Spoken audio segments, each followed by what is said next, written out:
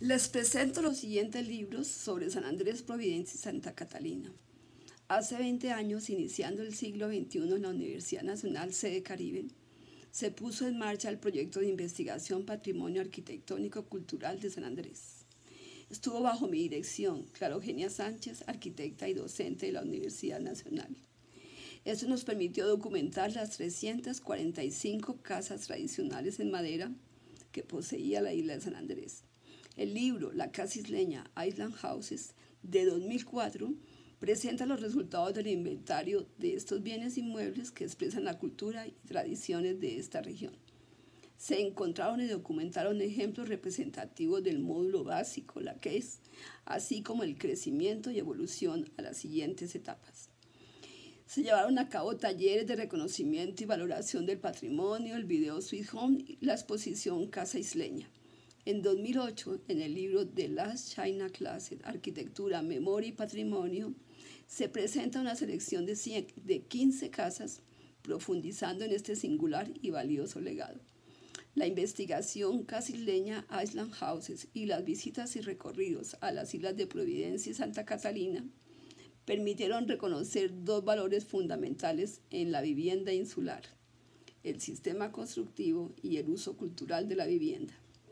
La vivienda de interés cultural en el archipiélago tiene una relación con el, con el entorno, tiene espacios que permiten una adecuada interacción interior-exterior, el patio le permite privilegiar las relaciones familiares y vecinales, tiene componentes para aprovechar las brisas y ventanas combatientes para protegerse del huracán y la cisterna que le permite almacenar agua lluvia.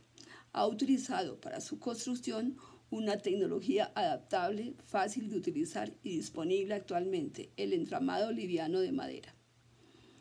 En 2021, luego del impacto por el paso de los huracanes ETA y de Iota por el archipiélago, con Hazel Robinson se publicó el libro Las Casas de Interés Cultural de Providencia y Santa Catalina, con énfasis en seis casas sobresalientes, señalando que esa herencia viva que se mantenía con orgullo es parte del legado y es parte de la historia de la comunidad de Providencia y que, como dice Hazel, recuperarlas es un deber, es recuperar parte de nuestra cultura viva.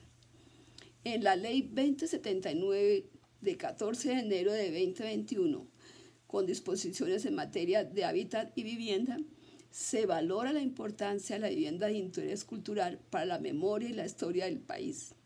En esta ley se reconoce la vivienda tradicional como una expresión cultural que responde a una forma de vida, a la relación e integración con su territorio y a una organización social. La representante J. Pam promovió la ley 2134 de 2021, por medio de la cual se declaró patrimonio cultural inmaterial de la nación la arquitectura tradicional del pueblo raizal del archipiélago. Con estas leyes se espera que las resoluciones para su aplicación provean a la gobernación y a la alcaldía de herramientas, estrategias y recursos para la formulación de planes y proyectos especiales y que se disponga de recursos para la conservación de las viviendas y en la formación del saber hacer.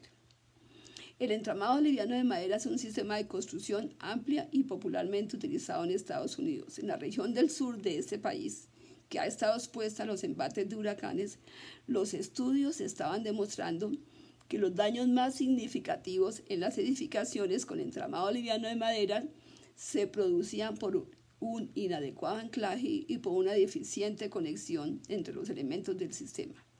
A partir del paso del huracán Andrew en 1992, se desarrollaron conectores estructurales, anclajes y sistemas de sujeción disponibles actualmente que al ser integrados en el sistema liviano permiten obtener estructuras más seguras y resistentes. Gracias.